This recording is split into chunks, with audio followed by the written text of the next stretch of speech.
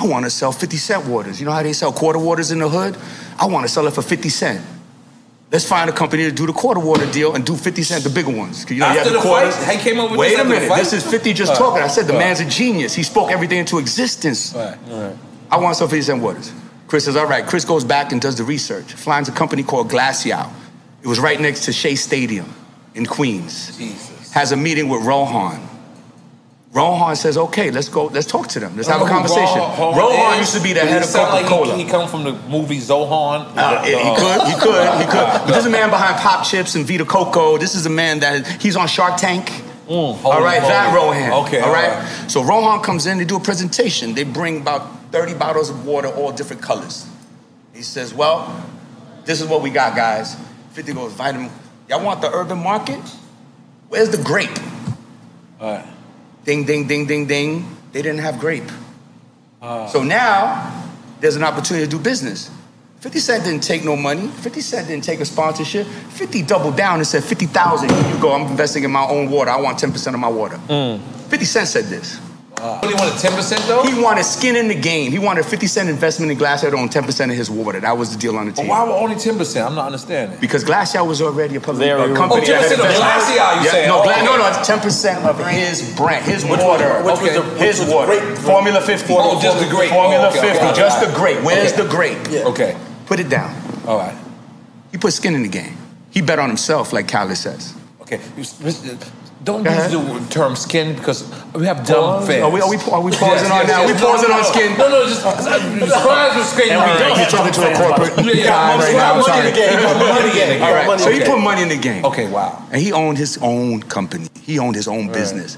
But take the table, James.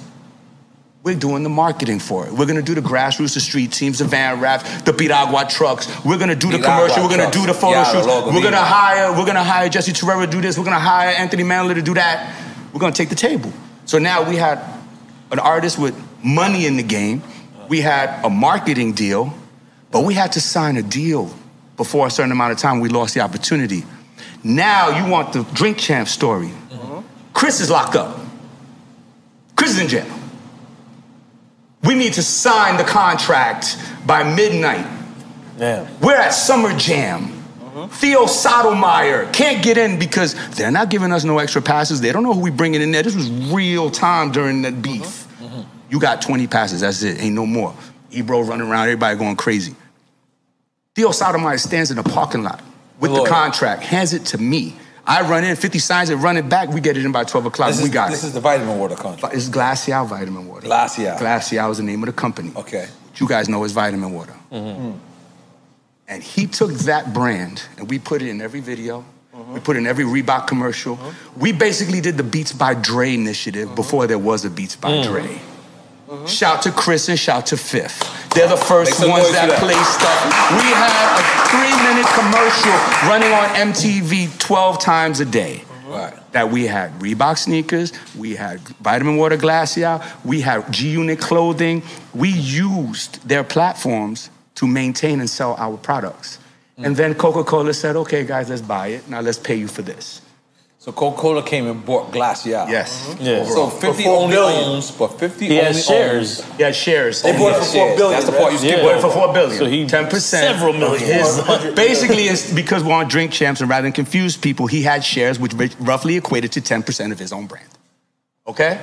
You get it? Only his own brand, or he didn't have nothing in Glacial? His own brand.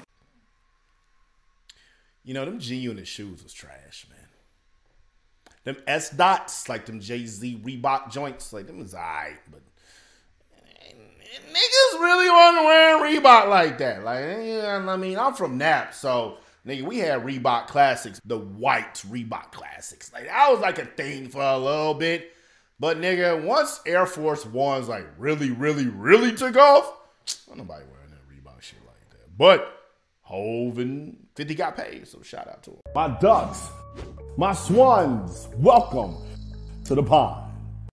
My name is Dorian from Group82Music.com, and right here we got James Cruz, Diddy's former manager, talking about how 50 Cent invested $50,000 into vitamin water and flipped it to 4.1 billion. Now, I want y'all to really understand what's going on. Okay, this is at the time when there wasn't a lot of sports drinks like. We had Gatorade, which has been around for a while. We had Powerade, which is basically fucking sugar. All Sport came and it left. And so there was bottled water companies, but there wasn't anything that was really dominating the market like how it is today with the beverages. 50 discovered vitamin water when he was in Queens or LA, or the story gets all fucked up. He said Queens. I've read that he discovered in LA. It is what it is. Probably was Queens, and the LA was a sensationalized PR story. Side note, most of the shit that you be reading about these companies, about how people get signed, are sensationalized PR stories. So be conscious of that. Back to it. So once 50 discovered this, he was like, okay, you know what? He had Chris Lighty, rest in peace, who did a lot of his business, discover that this company, Glacial, owned this. He walks into the meeting. He looks at the vitamin water. They said they really want to hit the urban market because it's fucking 50 cent. This is 2003, 2004, 2005. He can really do a lot. He's like, yo, y'all ain't got the flavors niggas like. Niggas like grape. They're like, okay, we're gonna create that. All right, well, that was my idea. So we're gonna create grape. We're gonna call it Formula 50. And I'm gonna invest $50,000 into Formula 50. And so that way I own equity stake into Formula 50. Great. Now, what did he do? Because hip hop is the number one export of American culture in the world, because hip hop is the most influential culture in the world, MTV, BT, every time 50 was out, you seen him. He had vitamin water with him. He had vitamin water in his music videos. He had vitamin water everywhere. He was constantly talking about it. the same way he did Effen vodka, the same way he does power, the same way he's marketing on social media now. He was doing that back then, pre-social media, because product placement is important. When you see things, you're interested in it. Y'all look at this shirt right now. This is Racism is Lame. This is my homeboy Dana Howard's company, racismislame.com. Some of y'all have already asked about it. Go visit. You can go look it up. Go buy a shirt right now. Product placement is very important in videos, especially on social media now. But back then, it was all you had. So if you watch an old G Unit 50 Cent video, you're going to see vitamin water. You're going to see G Unit clothes. You're going to see the G Unit sneakers because he was eating off of all of that. That shit blew the fuck up because not only was 50 involved with it, but it tastes good. It was a good product. And because of that, Coca Cola came in, they went to Glacial and said, hey, we want to buy y'all. We want to acquire y'all the same way Facebook acquired Instagram. But we're going to pay you $4.1 billion. They said, okay, sold it. And off that deal, 50 made $100 million. This is why you need to not be so much focused on your music as being your only source of income. Your music needs to be your creative expression. It needs to be how you communicate your soul to the masses. At least for me, I make sure that I keep my music as something I want to do how I want to do it. I don't really make music with the idea of, yo, I'm gonna press them with my bars. I don't really make music with the idea of, like, yo, this is gonna get a shit ton of streams. I make the songs I wanna make because I don't need my music to be massively successful for me to eat because I have so much other shit going on. Every major artist who is rich has done this. Dr. Dre isn't a billionaire from the Chronic. He's a billionaire from Beats by Dre. That's how he made his money. Even look at somebody like Beyonce, who has a hammerlock on the pop R&B lane. She makes way more money outside of her music. Same with Rihanna. This is the shit you need to be doing. This is how you need to be thinking. Are you studying the game? Are you studying these people? Are you sitting in the comments arguing about who's the fucking Illuminati? Are you arguing about who's better, who's real, who's? A, are you studying this shit? Because if you study this shit, you can see the patterns. But you can market yourself so powerful if you use your music to push other products.